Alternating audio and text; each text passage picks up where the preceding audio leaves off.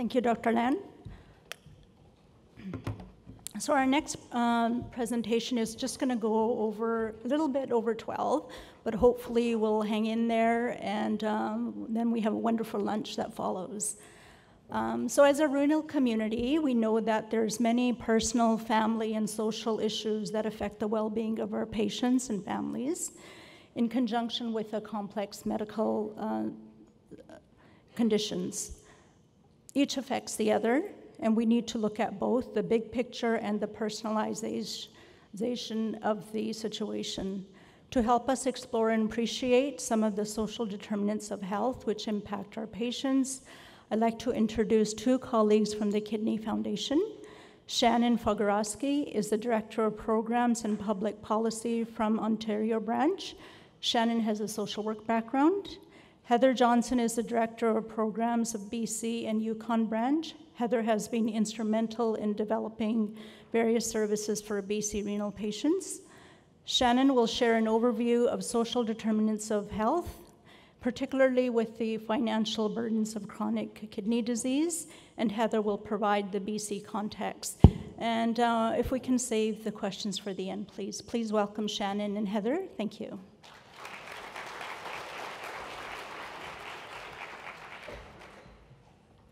Thank you very much. It's uh, quite an honor to be here and listening to a lot of the uh, quality improvement um, initiatives that BC has taken on. And I can honestly say that you're quite the leader across uh, the nation because uh, I know for myself, I'm probably one of those statistics that are on the website constantly looking, uh, seeing how we can um, borrow and uh, augment some of the great work that you do. So I just really wanted to say thank you to um, the phenomenal work that you do do, and uh, we're uh, certainly utilizing a lot of your resources um, uh, in Ontario as well.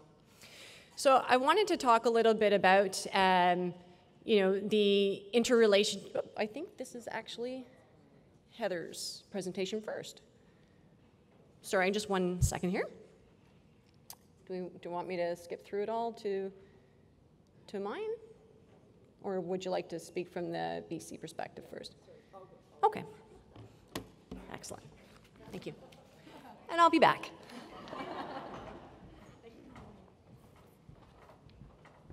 minor, minor glitch here. Um, actually, I want to tell you a story. It's about Joyce. Joyce was diagnosed with CKD four years ago. She's a single mother with an eight year old son.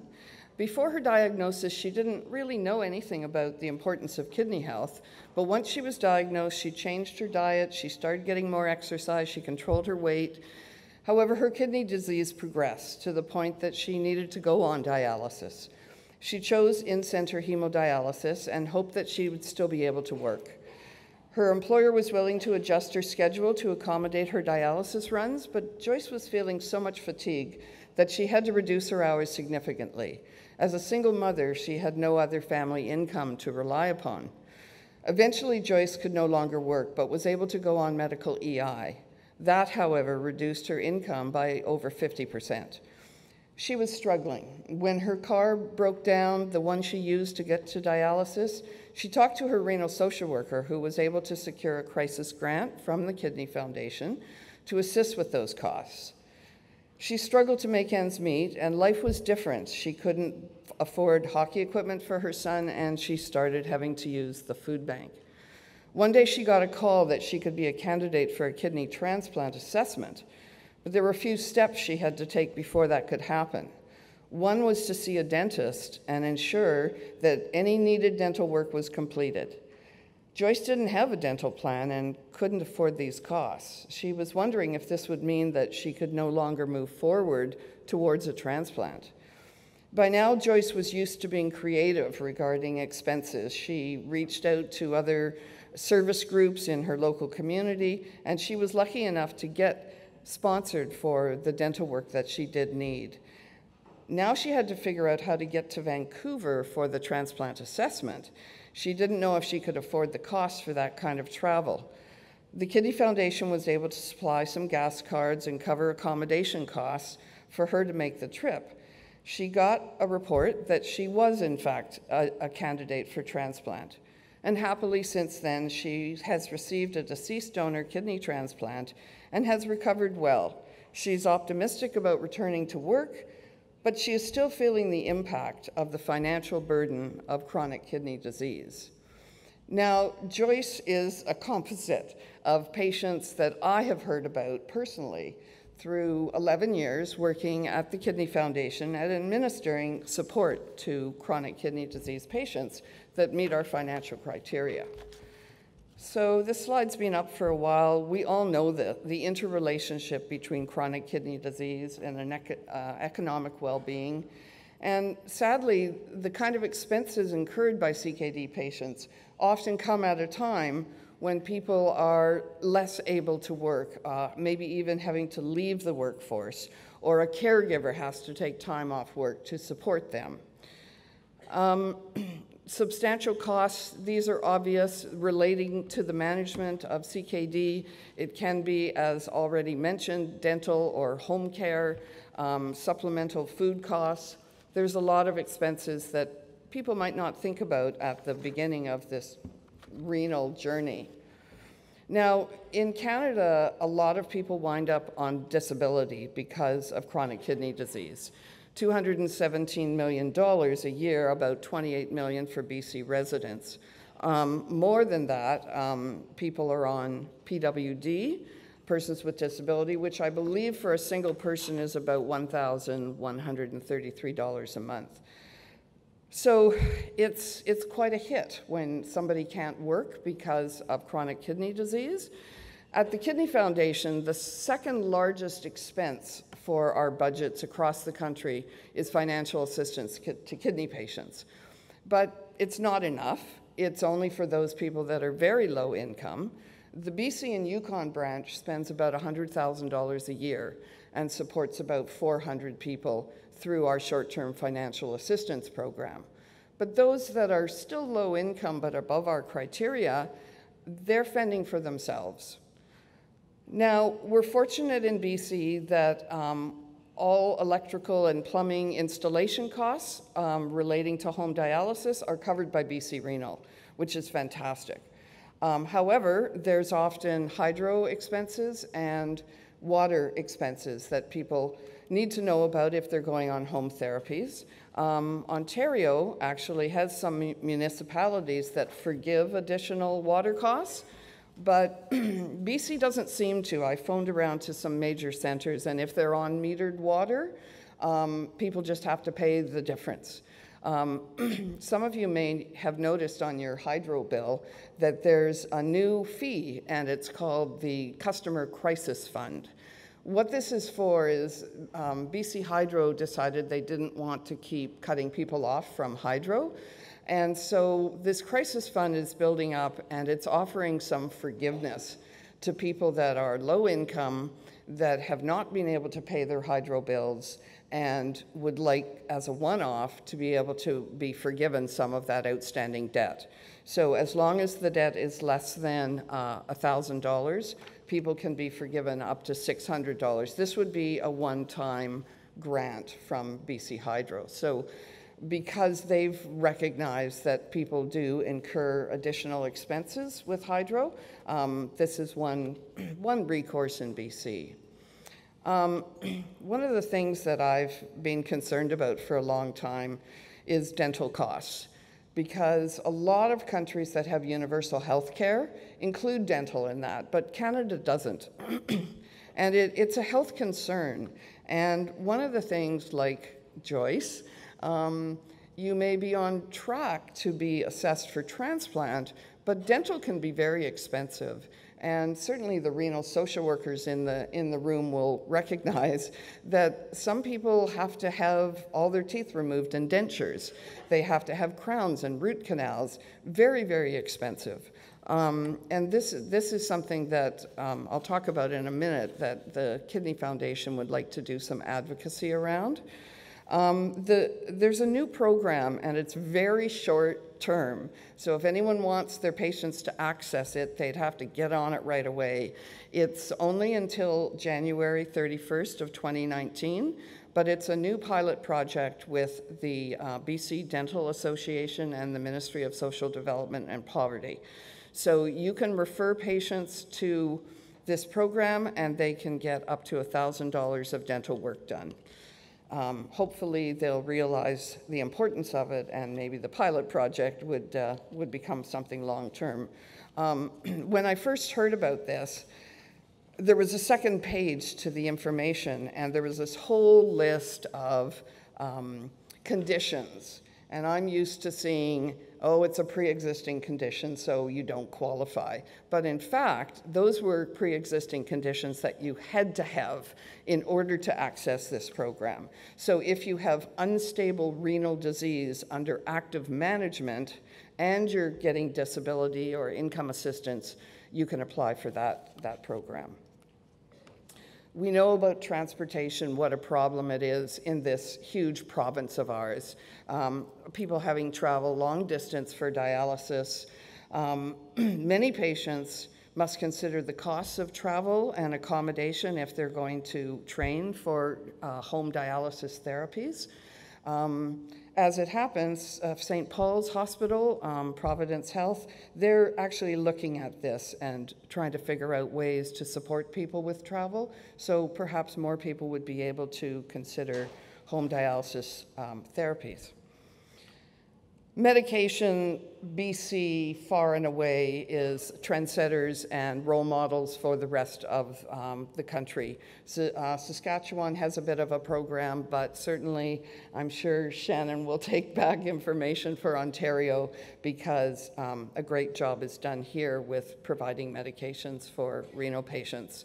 Um, some of you know that the Fair Pharmacare program is going to be improved for low-income people next year, and this is great news. So there'll be no deductible for prescriptions to families with a household income of less than 30,000.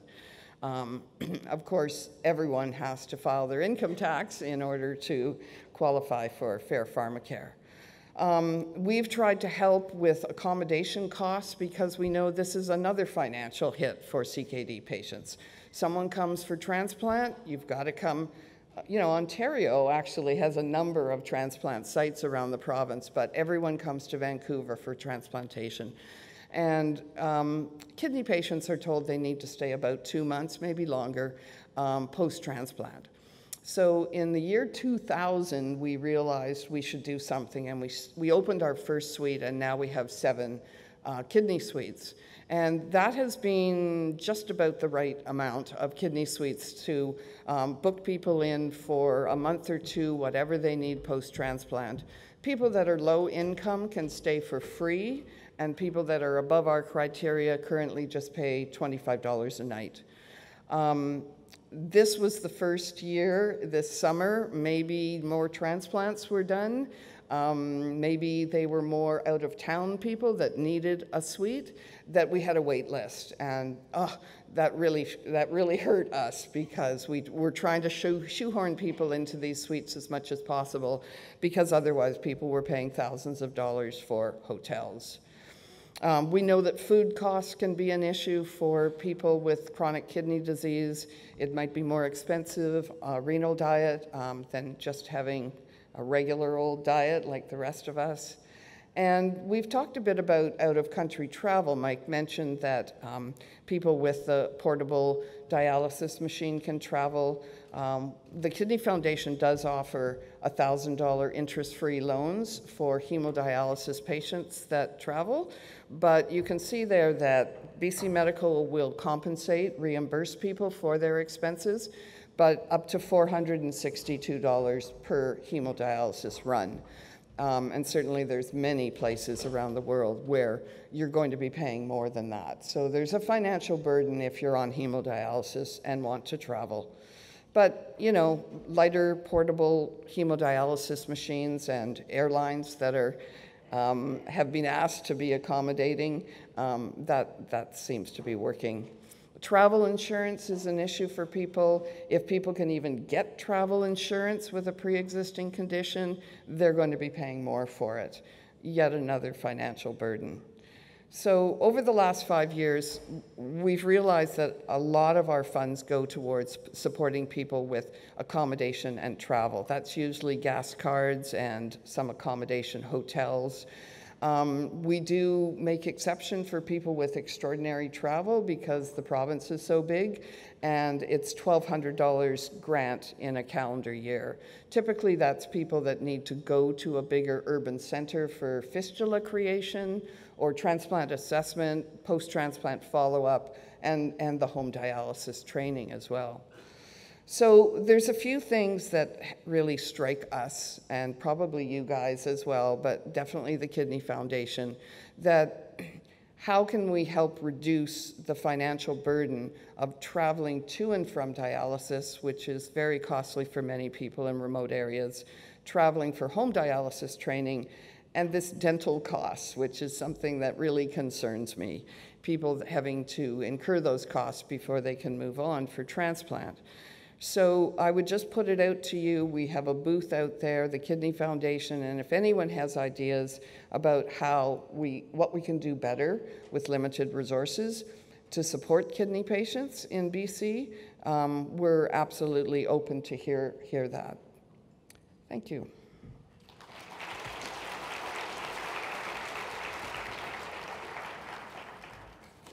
Oh, my notes. Thank you. We're just um, trying to get the next presentation up. There was a little bit of a mistake, so come on up, Shannon. Thank you. Uh, thank you again. Um, you know, I've been in the nephrology world for about 18 years. I started off as being a nephrology social worker, and my son always said that I had the greatest job in the world because I was kind of like a, a, magician trying to make the impossible seem possible. And it's phenomenal now. Um, you know, in the work that I do, I'm very involved with the what's called the Ontario Renal Network, um, in difference of, but similarities into in terms of your um, BC Renal Agency, and in terms of looking at uh, provincial pro, uh, quality improvement improvement initiatives for our 27 regional centers. So our system kind of works a little bit differently, um, but we still um, look uh, towards BC a lot in terms of your quality improvement indicators and how we can augment that for Ontario as well. So it's great being now at the Kidney Foundation and being in a, in a role where I get to bring that rich uh, frontline experience um, and my experience in leadership and be able to try and affect change in creating uh, provincial programs, but also in looking at uh, um, you know, provincial strategies and looking at public policy and really working with our elected officials to try and create some advocacy piece. So, I'm going to talk a little bit about social determinants of health, and we really need to start off with a definition of what that means. And really, it means that um, it's the conditions in which people are born, grow, work, live, age, the wider sets of forces and systems shaping the conditions of everyday life. And these forces and systems include economic policies, uh, systems, developed agendas, social norms, social policy, and our uh, political system. And there's been a, a few. Um, a few um, studies that have been done in terms of um, you know the main social determinants of health. There's relatively about 14. I would argue probably um, we could also include when we start looking at diversity issues as well. Um, and the National Kidney Foundation in the states also looked more in terms from a, from a renal uh, specific. Um, for the nature of this talk, as I appreciate that I'm between you and lunch, so I'm only going to be talking about a few of them uh, that really hit home uh, to many of us. And a lot of that is talking about our healthcare system. We heard it mentioned a little bit between the difference of equity versus equality, and meaning that we want to have a healthcare that uh, meets the needs of the individual.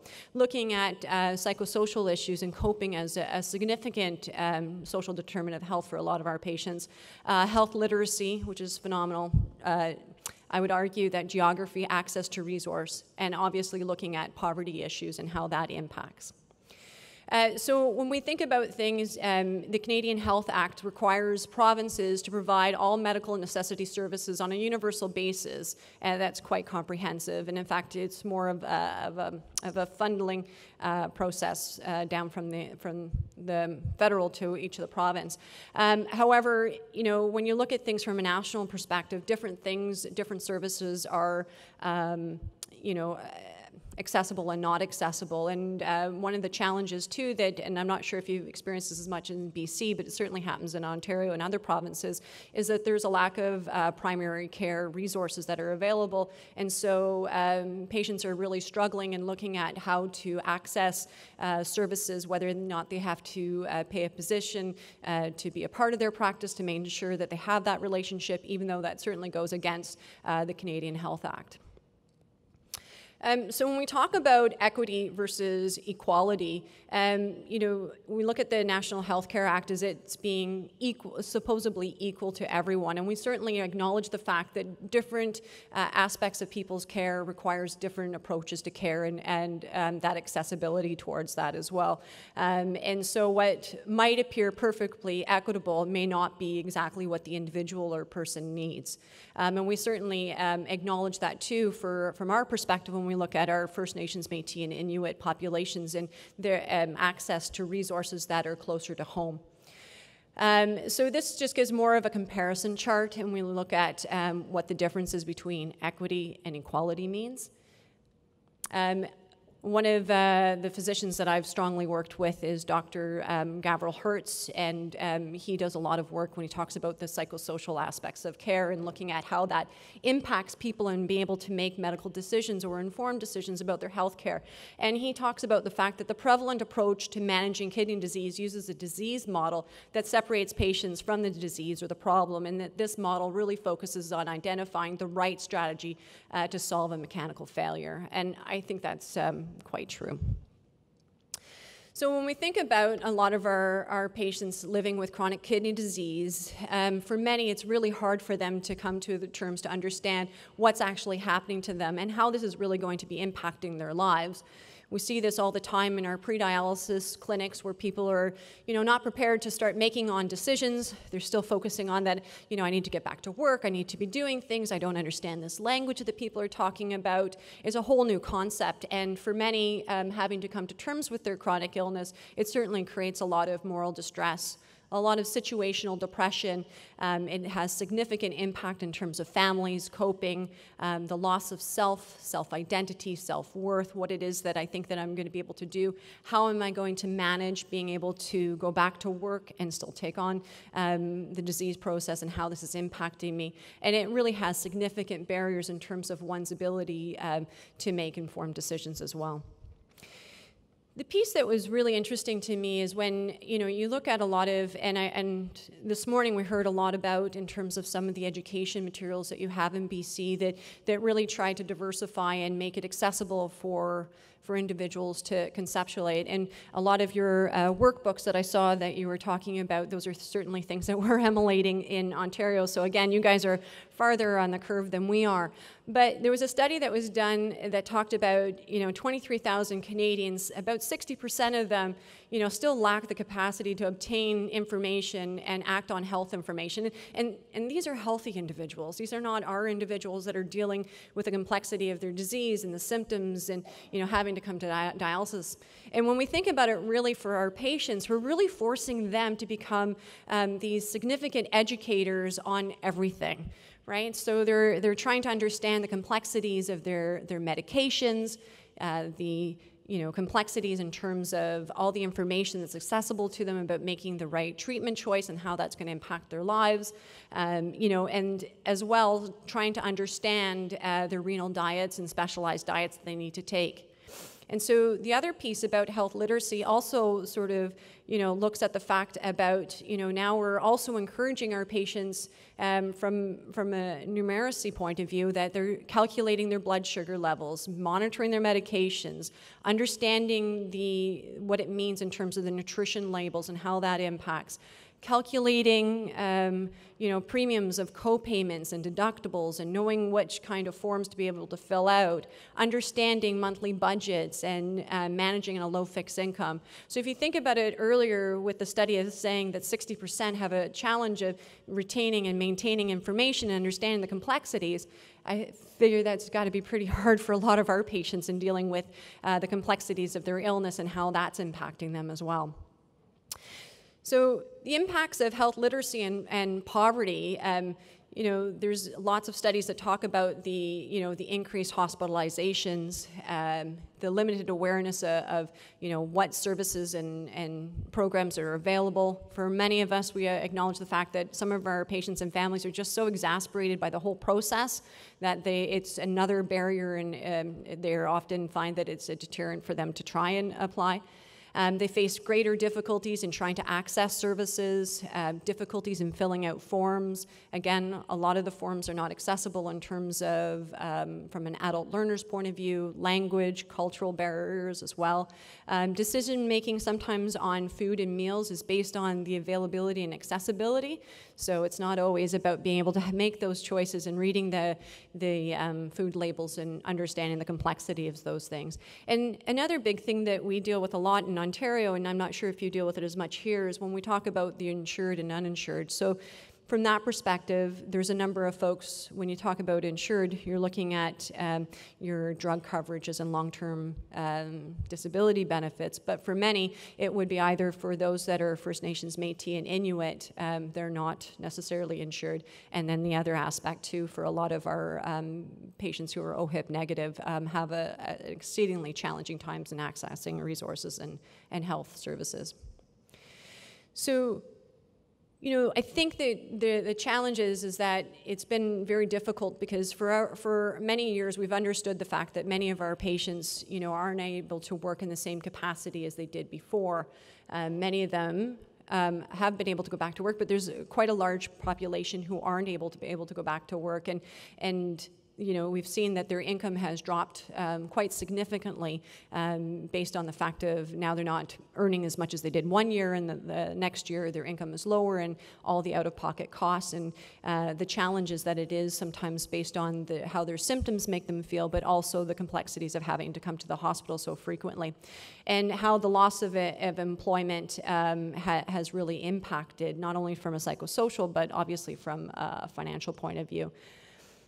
Um, so I think what was really interesting was that this year, um, the Kidney Foundation, as well as uh, the Canadian Association of Nephrology of Social Workers and social workers uh, abroad from the, across the nation, um, it was the first time that we kind of collated this information, understanding that there was such a great complexity, but it never really was documented in any sort of uh, formalized way. And so we had um, done a national survey in talking about some of the out-of-pocket costs that a lot of our patients experience and how that financial burden uh, impacts impacts. Um, so one that came out of that was that we now have a uh, national report in terms of talking about um, some of the out-of-pocket costs and how that's impacted. What was interesting was that, and these are things that we kind of knew, but we didn't really have any uh, data really to support this understanding. And with um, the financial assistance that each of the province uh, gives from the Kidney Foundation, the great, the need every year is just uh, growing and growing. Um, so it was really time to kind of collate some of this information. And what was uh, very astounding to understand was that 50% indicated that their income uh, decreased since the moment that they started dialysis. And of those respondents, almost and more than half said that it decreased by 40% or more. I mean, that's astounding. So we're, you know, talking about the fact of not being able to work in the same capacity, still having the same, you know, expectations and, and uh, bills that have to be paid, as well as trying to manage, you know, all of the complexities of their health and, and having to come for treatment. Out of all the respondents, 41% um, were below the low income cutoff. And I'm to, I found the uh, federal statistic to show you what the actual cutoff is. Um, and that was compared to 8 to 14% uh, of, of the general um, population. So when you look at the federal income table, what you'll notice here is that for a single individual, they're calculating that the um, low income cutoff is $24,600. Now, for most of us who are working, that's you know, quite challenging when you think about the complexity of all the things that we have that are going on in our life, paying for mortgages, you know, raising children, all the, the, the costs of living. Um, what I have and I don't have is your, your BC rate, so I'd be very interested to see. But I did um, get permission from one of our patients to show what it is. We have a system called the Ontario Disability Support Program. It, uh, I guess, would be the equivalent of your um, disability uh, welfare system. And what was interesting was if the federal level was 24,600, this individual received with all the extra little perks that uh, social workers were able to try and, and get for our patients was $15,456. Now, if you think about it realistically about how one may survive on that, you think about the complexity of, you know, medications that are not covered by your provincial healthcare system. You're thinking about the specialized renal diets that aren't covered by many systems, um, and then you're looking at, you know, housing costs. You're looking at food costs. Um, that's quite astounding when you think about those things. The survey also indicated um, that the average annual income, um, you know, folks, uh, the out-of-pocket costs that they were paying for, and we talk about out-of-pocket costs, these are things like hospital parking, um, transportation costs to and from your treatment centers um, or for medical tests, um, uh, medications that are not covered by your provincial healthcare system. And people were paying close to between 1400 and 2500 um, depending on their modality. 55% of them reported that their household income was less than 35000 and 23 of them indicated percent indicated that it was less than 20000 so it really puts um, you know a note on when we talk about poverty issues. I'm sure everybody has a similar story. I have miss anna. Miss Anna, uh, she's a 43 year old woman. She was working she was working full time, um, making a fairly decent income. Uh, she's been on dialysis for two years, and due to the complexity of her health, um, you know, she uh, was unable to work. And she had to stop working um, because she just couldn't manage, um, you know, based on how her symptoms were and having to go to dialysis. And so now she's receiving what would be considered a, a modest uh, disability pension as well as um, Canada um, disability pension. She brings home about 1600 a month. Um, however, though, based on the complexities of things and uh, of course because you know our patients uh, they have more than one comorbidity often and so they often have more than one psychosocial factor that impacts them as well. She uh, has an adult son who she is the caregiver of and um, he has mental health issues and because of his behaviors um, he they were no longer able to live in their apartment and were evicted.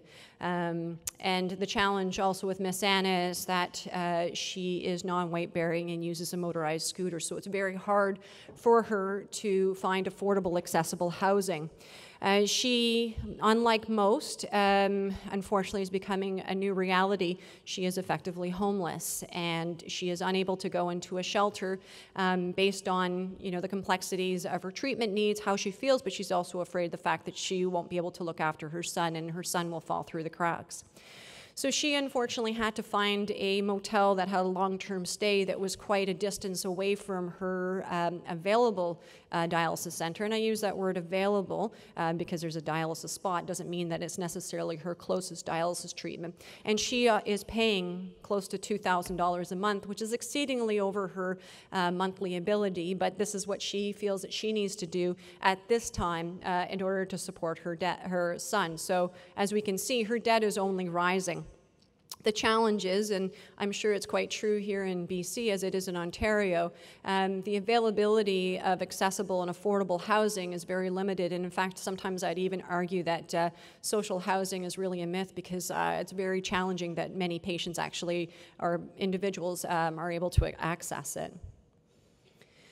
You know, some of the barriers of accessing health, um, and, and not unlike Miss Anna here, is that most dialysis centers um, are often in urban centers. And so there's uh, challenges for individuals who don't live in the urban center and live more remotely in terms of being able to access transportation systems uh, to get there. And so many individuals are paying higher costs for their transportations.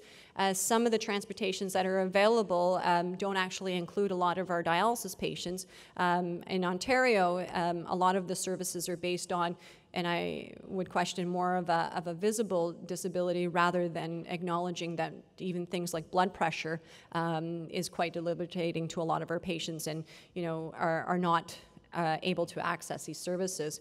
Um, there's huge issues, again, for many of our patients who uh, don't have healthcare coverage, who are considered either, uh, they may have uh, short term based on interim federal health, but once that um, you know expires or they're they're no longer eligible, there's significant challenges, and it's a, very limiting in terms of um, diversifying our services that would incorporate a lot of um, uh, cultural aspects and as well as language. So a lot of the, the consequences uh, of these issues are obviously are the unmet needs, um, delays in uh, receiving appropriate care, the inability uh, to get preventative services. And for many of our patients that feel a little bit disenfranchised by the whole process to begin with, often don't seek out the supports that they need because they already feel that they're already going to be disadvantaged from it. And so there's lots of things that we can do from a preventable point of view as well.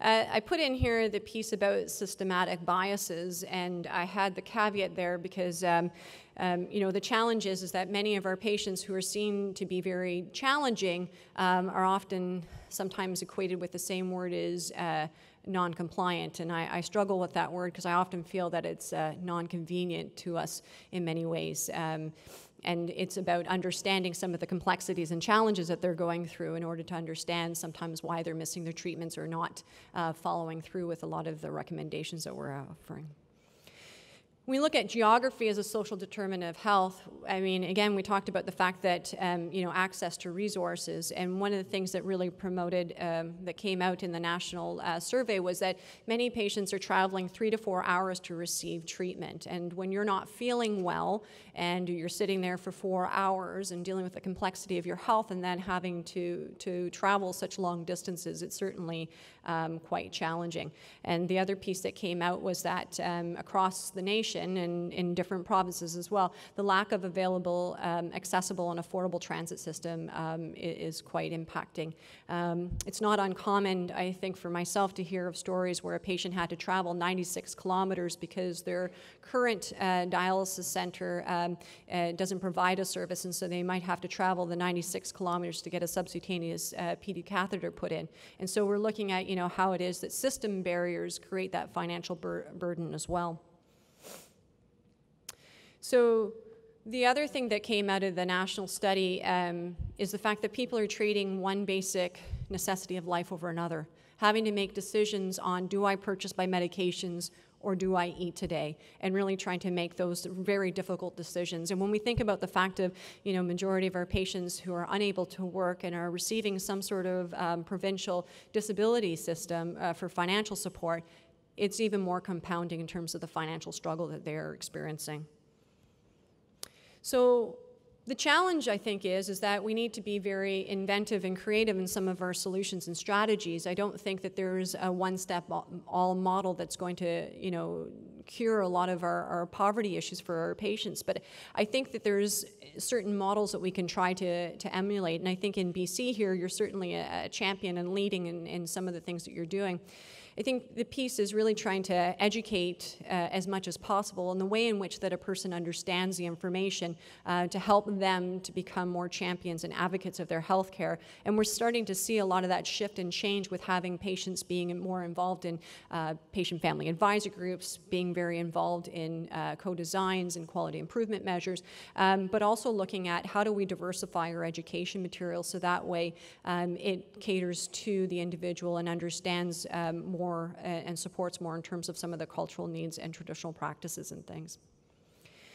Um, it's also, we're looking at, you know, innovative ways to um, provide um, support and services. So for people who live more in the remote areas, instead of trying to encourage them to travel that far um, to an urban center, if there could be rotating specialist clinics where we have physicians that uh, go, and for us it would be the, you know, uh, quite up north um, is quite challenging for, for many people to access services and supports. And the one thing that I acknowledge here in BC is that you're starting to do more, or you have been doing more in terms of telehealth and, and looking at the different um, processes with that. This is something that in Ontario we're just starting to, um, to do as well. And the biggest thing is um, uh, the provincial electronic system. I heard earlier this morning that you're starting with PROMIS, or you have been working with PROMIS, and that's something that we're slowly starting to, uh, to copy, so I'm, I'm glad to hear that. So again, in on BC, you have a number of these programs that are already existing across the nation. Um, we don't have, uh, it's not uh, the same everywhere. So the challenge is sometimes is, is trying to create that um, equality everywhere. Um, we also look at the financial uh, assistance. Um, it's about changing tax structures and the way in which that uh, accessibility to applications or programs uh, are available. Um, the challenge also is, is that many programs are based on um, notice of assessments that were done in the previous years. I might have been working last year, but this year I'm sick, and therefore my income is a lot lower. Um, so, looking at how do we change and uh, create more um, processes along that. Um, and then also looking at the, the change process about household income. Uh, again, I think that's a more of a historical notion. Um, when you think about um, the functions of families now. There are many that where it's even my generation that's living with my parents that's looking after their needs. And so my income, although it might be seen as this value, is really lower because of all the complexities of having to take care of my mom who is going for her chemo treatments and my dad who goes for his dialysis treatments and having to pay all those out of pocket costs. And so you know, while it has my assessment at this level, it really should be um, identifying all these other challenges as well. Uh, developing a, a, medical transportation assistance program that subsidizes um, transportation costs. Now, I'm a part of, um, which we're hoping is part of the uh, chronic disease prevention uh, alliance, and it's really trying to um, connect together a number of, of chronic disease together in, in a single um, action towards our elected officials and provincial uh, leaders to try and create uh, more awareness. And one of the things that um, from Newfoundland Labrador, one of the things that they do is that they have a, um, a rate of mileage reimbursement um, for um, treatment. And so that would include all forms of treatment, which I, I, think is phenomenal. The caveat to that piece would be to ensure that it's not just for those that have a, taxable income, because argumentatively it wouldn't be supporting our patients. The majority of them are on non taxable income. So if there was some sort of uh, per diem rate, that that could happen. Um, the other thing that uh, came out of the national report that I've been very involved is is also um, creating a kind of like a, a, a an uh, advocacy toolkit about how to get uh, patients and families involved in hearing their voices and stories about how they've experienced financial burden and challenges. Um, and I've been very um, involved with um, uh, an, part of our national pharmacare restructuring in terms of our, our drug formularies and how people are accessing uh, medications. Um, so I was able to be um, at a consultation meeting with Eric Hoskins and be able to um, uh, challenge some of the, the the current structures that they have and how do we how do we create a national pharmacare program that actually supports uh, the marginalized individuals that we're actually trying to support. So again, it would be like trying to um, look at the evaluations of financial income, making new definitions on household income and how that's calculated, um, decreasing uh, wait times um, for access to certain medications, um, making sure that the drug dosing, especially for our nephrology patients, um, that there's a variance there for us to be able to, um, you know, for physicians to be able to prescribe and knowing that their patients are going to be covered. Um, Another, another creative solution, well, maybe not be creative, but um, is uh, minimizing the disparities in accessing those medications and food supplements um, to offset some of that cost for our patients that have to spend out of pocket um, for uh, a lot of the renal supplements and um, medications, um, and develop a mechanism to provide help to patients and family who are incurring those high costs um, related uh, to their income. Um, it was mentioned earlier before about uh, Ontario. We started um, through the Ontario Renal Network uh, the HUG program, the Home Utility Grant. And so there's a certain per diem uh, rate that uh, home dialysis patients will get uh, to help subsidize the cost for their hydro and water consumptions it still, um, you know, it certainly is uh, a significant leap. Um, there are some a bit of challenges with that because it uh, it challenges for those who are on some sort of disability support program because it's seen as income. It's a bit challenging for some of our folks that live in subsidized housing or um, uh, for some of our landlords that are asking for that, they would like to pocket that subsidy themselves. And so it's in a continual process. Um, I think the other piece that uh, the Ontario Renal Network is working on is looking at a subsidy rate for uh, home dialysis training and what that will look like. So slowly we're starting to, to work on some of those out of pocket cost issues and looking for creative solutions. I guess I'll stop there. Thank you. I saw that you got up and I thought, oh, okay.